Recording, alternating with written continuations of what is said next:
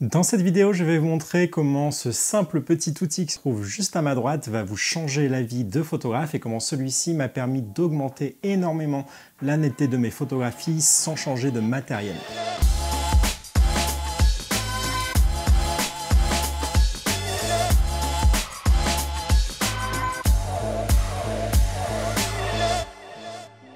Salut à tous, c'est Adrien de la chaîne Pose Nature et je suis très heureux de vous retrouver après ces quelques semaines de vacances. Et si vous êtes nouveau sur cette chaîne, sachez que l'on parle ici de photographie animalière, de macrophotographie, de photos de paysage, mais également de développement photo.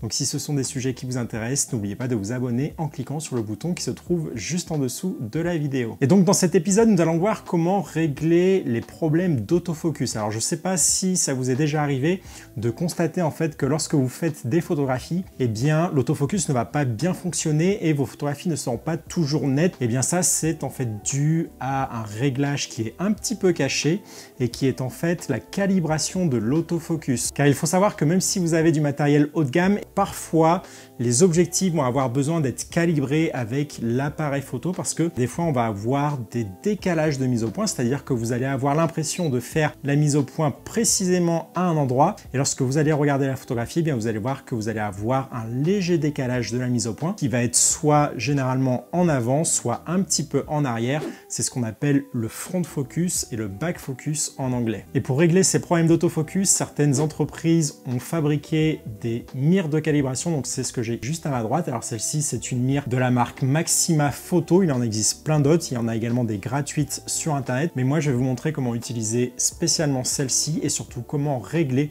les problèmes de décalage de mise au point sur mon appareil photo avec mon objectif Sigma 150 mm macro.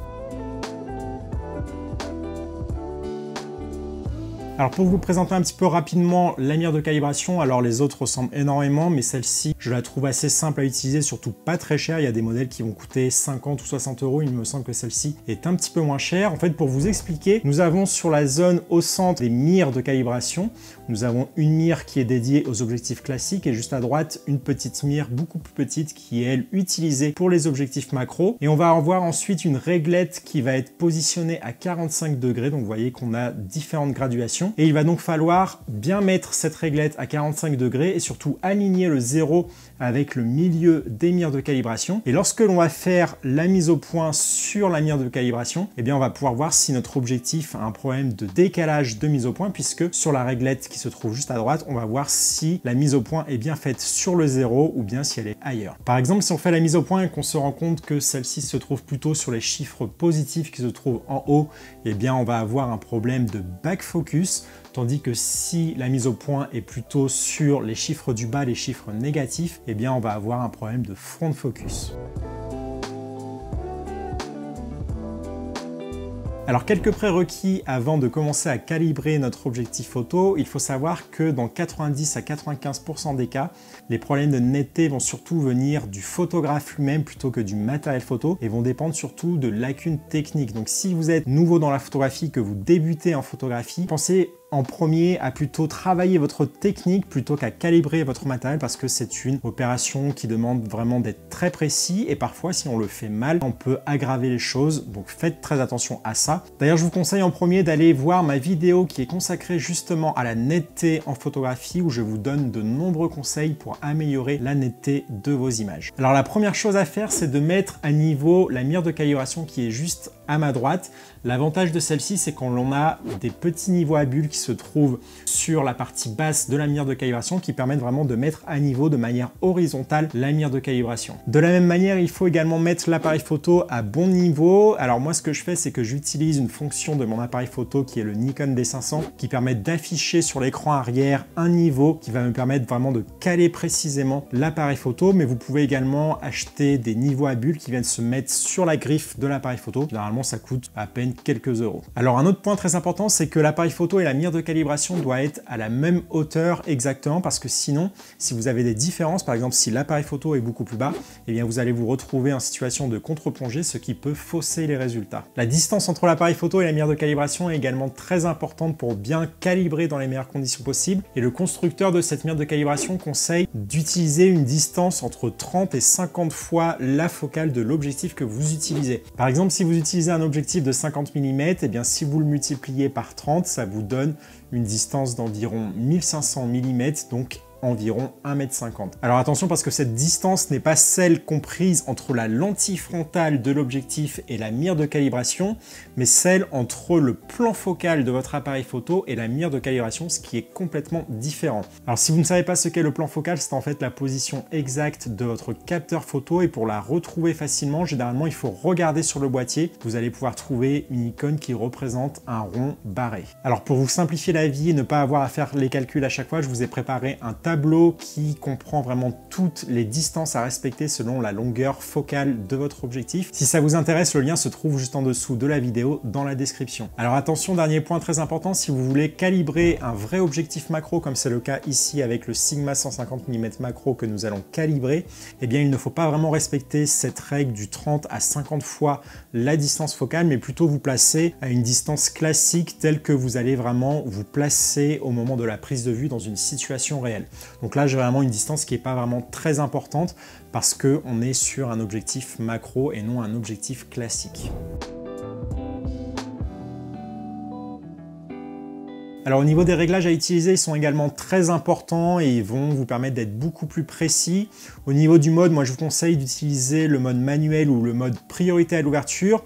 Également de travailler à la plus grande ouverture possible puisque c'est là où vous allez avoir la plus petite profondeur de champ possible. Si vous utilisez par exemple une ouverture de f8 ou f11, eh la profondeur de champ sera tellement grande que vous ne verrez pas du tout les problèmes de décalage de mise au point. Donc c'est vraiment un point très important, travailler au maximum à pleine ouverture. Au niveau de la sensibilité ISO, on va favoriser la valeur 100 pour avoir la meilleure qualité possible, mais selon la situation où vous allez vous retrouver, dans l'environnement dans lequel vous allez vous retrouver, vous pourrez peut-être augmenter un tout petit peu parce qu'il faut utiliser quand même une vitesse d'obturation qui soit assez rapide pour figer le flou de bouger, notamment sur le réflexe numérique, on a le miroir qui va se relever et redescendre, et ça, ça peut créer du flou de bouger, donc il faut quand même avoir une vitesse d'obturation qui est très importante. Pour limiter vraiment tout flou de bouger, j'aime également utiliser une télécommande de déclenchement à distance qui me permet eh bien, de ne pas avoir besoin d'appuyer sur le déclencheur de l'appareil photo et donc de créer des micro-vibrations.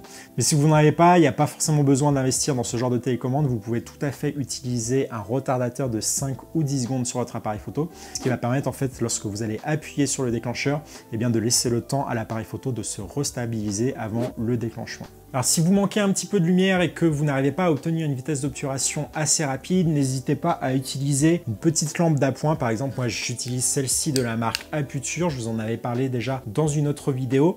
Ça va vous permettre en fait de venir éclairer la mire de calibration et donc d'obtenir une vitesse d'obturation beaucoup plus rapide. Donc là, je vais venir la placer très très près de ma mire de calibration afin de bien l'éclairer, ce qui me permet vraiment de gagner beaucoup de vitesse d'obturation sur l'appareil photo. Donc c'est parti, on se retrouve maintenant derrière l'appareil photo et on va commencer à faire vraiment la calibration. Alors déjà la première chose c'est de vraiment venir placer la mire de calibration au centre de l'image. Ici j'utilise vraiment le collimateur central. Alors là je vous montre en mode live view mais il faut utiliser le viseur qui est à l'intérieur parce qu'il faut savoir que le mode live view utilise un système de détection et de mise au point qui est différent et qui lui ne souffre pas de problème de calibration tandis que celui qui est dans le viseur, c'est vraiment celui qu'il faut calibrer. Donc là, on voit que je suis à une sensibilité de ISO 100 à ouverture f3.5 et une vitesse d'obturation de 1,2 centième de seconde qui est très largement suffisant pour compenser le flou de bouger.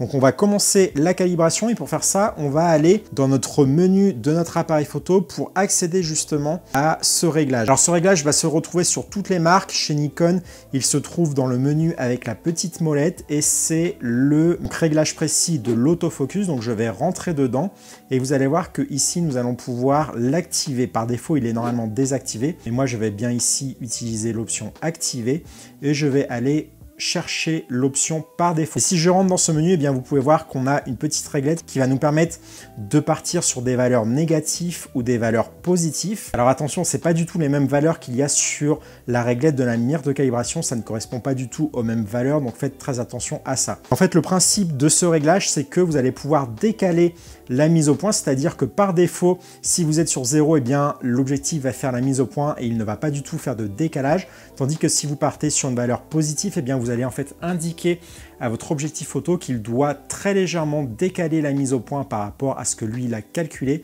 afin de compenser justement ces problèmes de calibration d'autofocus. Donc l'idée c'est vraiment de faire des photographies à différentes valeurs et ensuite de comparer les images sur notre ordinateur pour déterminer eh bien, à quelle valeur l'autofocus fonctionne le mieux, à quel moment eh bien, le zéro sur notre mire de calibration va être parfaitement net. Alors pour faire ça, moi je vous conseille vraiment d'être le plus précis, le plus rigoureux possible parce que c'est un réglage qui demande vraiment de la précision. Donc moi ce que je vous conseille de faire, c'est tout d'abord de partir à une valeur de moins 10 ou moins 15. On va partir ici à moins 15. Généralement, moins 20 ou plus 20, c'est vraiment des valeurs extrêmes. C'est très peu probable que votre objectif photo ait un tel décalage de mise au point. Donc moi, je vais partir à moins 15 et je vais aller jusqu'à plus 15. Et le but, ça va être vraiment de prendre différentes photos les unes après les autres. Donc allez, c'est parti. Je vais maintenant appuyer sur OK pour valider cette valeur de moins 15. Et on va donc commencer à prendre une première photographie. Je vais vous montrer comment faire ça de manière très propre afin de les faire sur toutes les valeurs. Donc maintenant, je vais appuyer très légèrement sur le bouton de déclenchement pour sortir du menu de l'appareil photo et je vais également sortir du mode Live View puisque comme je l'ai dit, la calibration c'est vraiment le mode visé dans l'œilleton et non le mode de visée par l'écran arrière. Donc je vais éteindre le mode Live View et donc maintenant je vais commencer à prendre ma première photographie. Mais pour faire ça, eh bien je vais venir volontairement décaler la mise au point de mon objectif à la main, donc manuellement. Je vais vraiment décaler ma mise au point et je vais maintenant appuyer sur le bouton de déclenchement de ma télécommande pour faire ma mise au point. Donc j'appuie très légèrement comme si j'appuyais sur le bouton de déclenchement. La mise au point est maintenant faite et je peux donc maintenant appuyer pour prendre la photographie. Donc là on a fait une première photographie à une valeur de moins 15. Alors moi je vous conseille de ne pas trop regarder la photographie sur l'écran arrière de votre appareil photo parce que c'est un petit peu trompeur, la qualité n'est pas forcément optimale. Moi je vous conseille vraiment d'attendre de mettre les photographies sur ordinateur pour regarder afin de ne pas être influencé par l'écran arrière de votre appareil photo. Donc maintenant je vais faire la même chose en mettant ma valeur par défaut à moins 14 et je vais prendre une nouvelle photo, donc je vais décentrer ma mise au point manuellement. Je vais appuyer très légèrement sur mon déclencheur et une fois que la mise au point est faite, je vais appuyer pour prendre une deuxième photo. Donc ça, c'est vraiment les conditions nécessaires, c'est les différentes étapes à faire. Vous changez le réglage dans le menu de votre appareil photo, vous venez décentrer la mise au point manuellement, vous faites la mise au point en appuyant très légèrement sur le déclencheur et vous prenez une photographie pour valider la photo. Alors faites très attention à ne pas trop manipuler l'appareil photo pour ne pas créer trop de flou de bouger, pour ne pas décaler la prise de vue. Donc faites très attention. Et puis ben, moi maintenant je vais faire la même chose pour les différentes valeurs jusqu'à plus 15. Et puis on se retrouve après pour comparer le résultat sur ordinateur.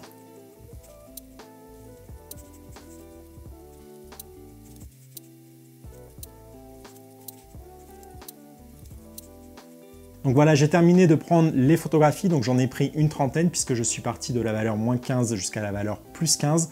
Ça prend un petit peu de temps, c'est pas forcément le truc le plus intéressant à faire, mais moi je vous conseille quand même de consacrer un petit peu de temps pour faire cette calibration afin de vous assurer si votre objectif n'a pas de problème de back ou front focus. Donc maintenant on va importer toutes les photographies sur l'ordinateur afin de vraiment comparer le résultat sur un très grand écran et surtout déterminer si l'objectif a un problème de back ou front focus et si oui, et eh bien quelle valeur optimal faut-il utiliser dans le menu de notre appareil photo pour compenser justement ce problème d'autofocus.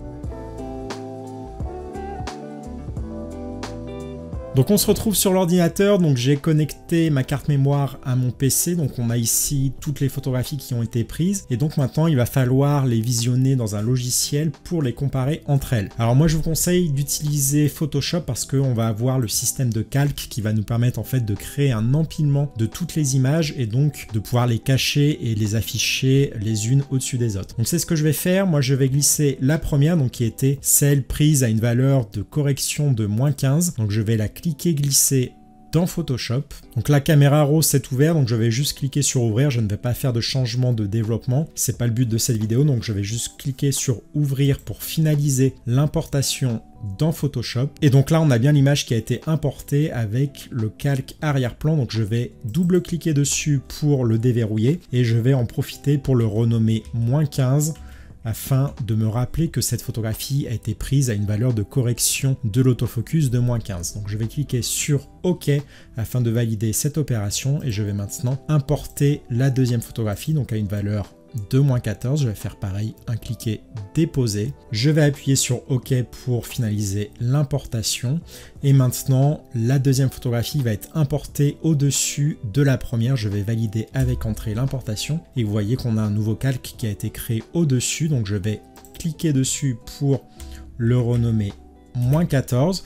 Et donc là, on a donc deux calques, deux photographies qui sont les unes par-dessus des autres. Et en venant cacher avec cette icône qui correspond à un œil, eh bien vous voyez que je vais pouvoir cacher au fur et à mesure mes différents calques, ce qui va me permettre, ça va me faciliter en fait la comparaison de toutes les images entre elles. Donc je vais maintenant importer toutes les autres photos jusqu'à la valeur plus 15. Je vais mettre en pause parce que ça va prendre un petit peu de temps et je vous retrouve juste après. Donc voilà, toutes mes photographies ont été importées. Je les ai également renommées. Donc on voit qu'on a la valeur plus 15 jusqu'à la valeur moins 15 avec également le 0 qui est donc sans correction de calibration. Et donc maintenant on va pouvoir commencer à comparer les différentes images entre elles en allant justement et eh bien, cacher certains calques pour voir la différence. Alors la première chose que je vais faire, c'est que je vais aller regarder d'abord le calque 0 qui est donc sans correction afin de voir si on avait effectivement un problème de front ou de back focus. Donc pour faire ça, il suffit de cliquer sur le, calque avec la touche Alt enfoncée, ce qui permet en fait d'afficher uniquement ce calque là. Donc je suis sur le calque 0, on va zoomer un tout petit peu plus afin de ne faire apparaître que la mire qui est ici et également la zone autour du 0. Alors je trouve que la netteté est plutôt pas mal sur le trait du zéro. On a pas un très gros problème d'autofocus sur le Sigma 150 mm macro. Par contre, si je regarde un petit, d'un petit peu plus près, je peux constater que peut-être le haut du zéro est légèrement flou ici. Le bas est plutôt net, mais vraiment on a une zone juste au-dessus me semble un tout petit peu flou. Je pense que la mise au point a été peut-être fait à ce niveau juste ici. Je trouve que c'est ce, ce trait-là qui est pour moi le plus net. Donc théoriquement, par rapport à cette photo et avec l'expérience que j'ai, je peux déterminer que j'ai un très léger problème de front focus, c'est-à-dire que lorsque je fais la mise au point sur la mire, donc je rappelle, j'ai fait la mise au point précisément sur le centre de la mire qui correspond donc à l'alignement du zéro, et eh bien en fait, sans correction d'autofocus, mon objectif va plutôt faire la mise au point juste avant, donc au niveau de ce trait-là. Donc pour moi, j'ai un très léger problème de front focus sur le Sigma 150 mm macro. Alors par acquis de conscience, on va vérifier sur les valeurs négatives si on n'a pas de meilleurs résultats. Donc ce que je vais faire, c'est que je vais activer le moins 15 et le moins 10 et je vais maintenant cacher le 0 pour voir la différence. Donc je clique sur l'icône de l'œil sur le 0 et là on voit que c'est maintenant le moins 10 qui apparaît et ça arrange pas forcément nos affaires puisque on a la mise au point qui va être encore plus décalée vers le bas. Là je trouve que le trait le plus net c'est peut-être celui-ci et là le 0 est totalement flou. Si on compare par rapport à la valeur 0, et eh bien on voit qu'on a un décalage encore plus important de la mise au point. Alors je vais regarder également par curiosité le moins 15, donc je vais désactiver le moins 10 et là on voit que le résultat est encore pire. Je pense que là le, la mise au point a été faite plutôt entre ces deux là et on a un 0 qui est totalement flou. Donc déjà, je sais que les valeurs négatives ne sont pas bonnes puisque j'avais déterminé qu'on avait un problème de front focus. Donc il faut plutôt partir sur des valeurs positives. Donc ici, on va supprimer toutes les valeurs négatives, je sais qu'elles ne servent à rien, donc je vais toutes les sélectionner avec la touche Shift enfoncée et je vais les mettre à la poubelle. Je vais réactiver ma valeur 0, donc là on a la mise au point qui est plus ou moins faite sur ce trait-là, et donc maintenant on va voir si en allant sur des valeurs positives, on peut récupérer vraiment la netteté parfaite sur le 0. Donc pour faire ça, je vais activer le calque plus 5, et là, vous voyez qu'on a déjà récupéré un petit peu plus de netteté sur le haut du 0. Si je vous fais un avant sans correction, donc le calque 0, et un après avec la correction à plus 5, et eh bien on voit qu'on a récupéré un petit peu plus de netteté sur le haut du 0. Je vais aller voir maintenant avec la valeur plus 10 si on récupère encore plus de netteté. Je trouve que c'est plutôt pas mal par rapport au plus 5. Là, je pense que la netteté était peut-être entre là et là.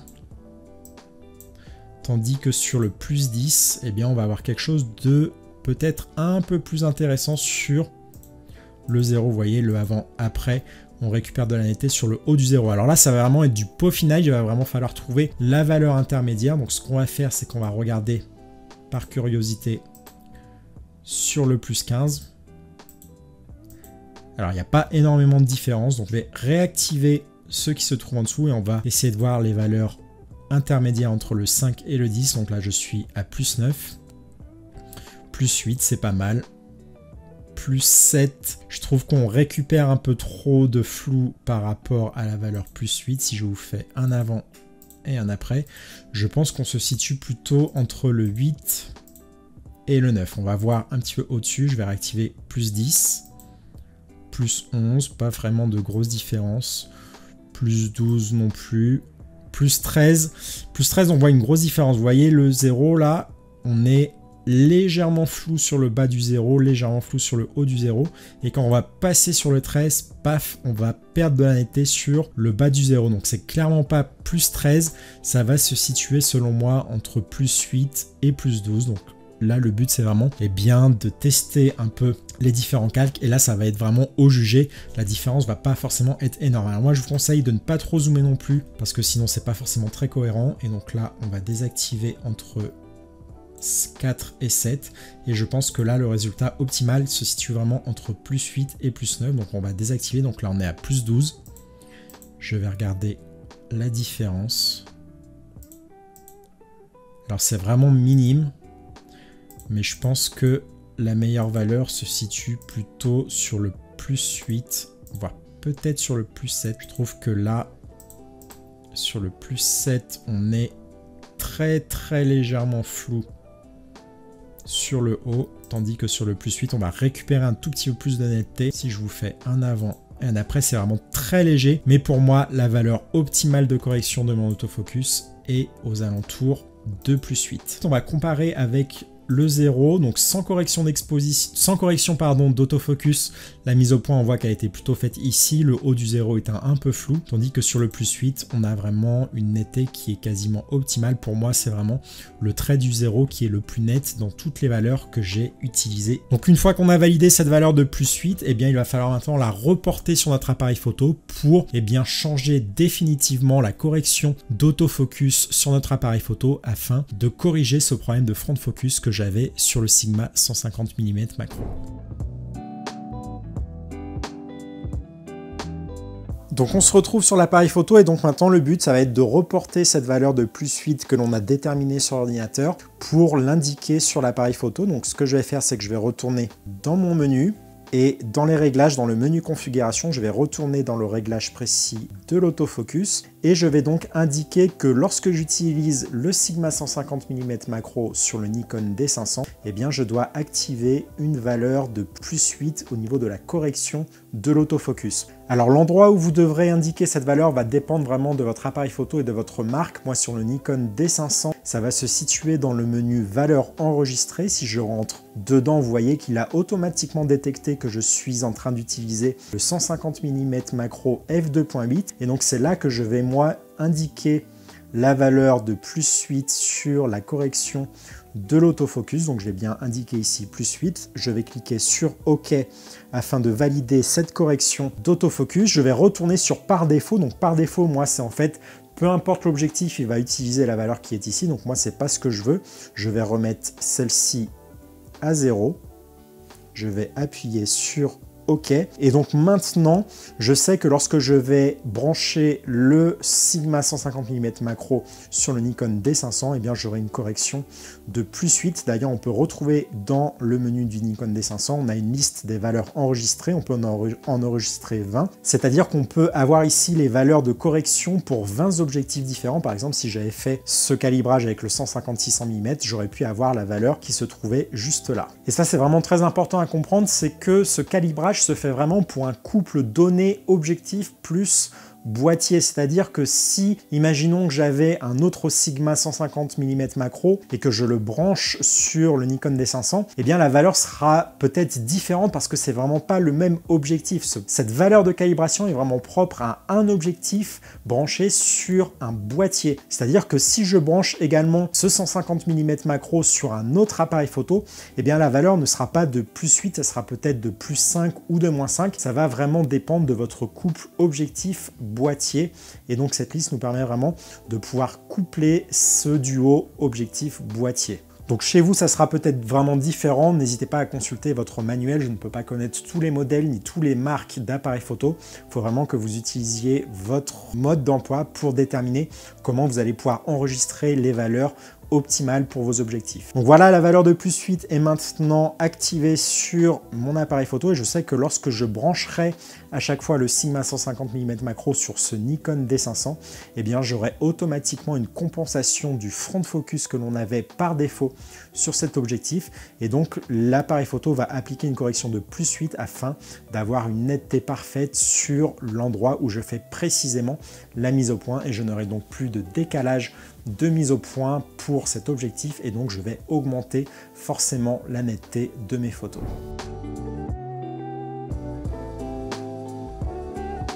Voilà, c'était tout pour cette vidéo. J'espère que vous l'avez appréciée, surtout qu'elle vous aura permis de découvrir un nouveau réglage qui est très important et qui, dans certains cas, vraiment améliorer énormément la netteté de vos objectifs. Alors, je ne sais plus si j'en ai parlé dans la vidéo, mais ce problème de back et front focus et de calibration à faire n'est pas du tout présent sur les hybrides. C'est vraiment un problème qui est propre au réflexe numérique. Donc, si vous avez un hybride numérique, vous n'avez pas du tout à faire cette calibration. Et si vous trouvez que vos photographies manquent de netteté, eh bien, c'est probablement dû à votre technique photo puisque il n'y a pas de problème de décalage de mise au point sur les hybrides. Alors si malgré tout vous n'arrivez pas à obtenir des photographies bien nettes, même si vous avez calibré votre objectif et si vous avez suivi les conseils de mon autre vidéo, eh bien n'oubliez pas le développement photo qui permet vraiment d'augmenter drastiquement la netteté de vos photographies sans investir dans du matériel haut de gamme. Moi c'est quelque chose que j'utilise sur toutes mes photographies, notamment celles qui sont prises avec le Sigma 150-600 mm et qui me permet quand même d'obtenir des images très nettes grâce à la puissance du développement photo. Et ça c'est ce que je vous apprends à faire notamment dans ma formation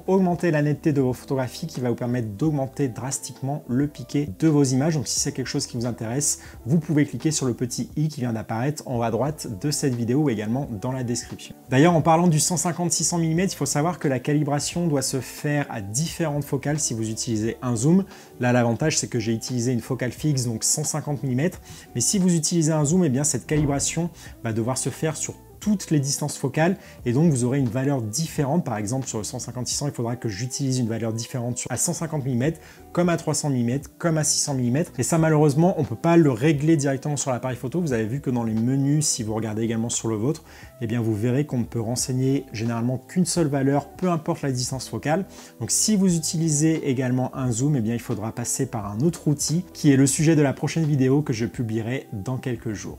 En attendant, si vous aimeriez progresser en photographie et notamment apporter beaucoup plus de créativité à votre image, vous avez également la possibilité de télécharger mes guides PDF qui viennent d'apparaître à l'écran. Il vous suffit pour cela de cliquer sur la petite vignette qui se trouve juste à droite pour être redirigé automatiquement vers la page de téléchargement. Voilà, c'était tout pour cette vidéo. Merci de l'avoir regardé jusqu'au bout et moi je vous dis à bientôt pour un prochain épisode. Salut YouTube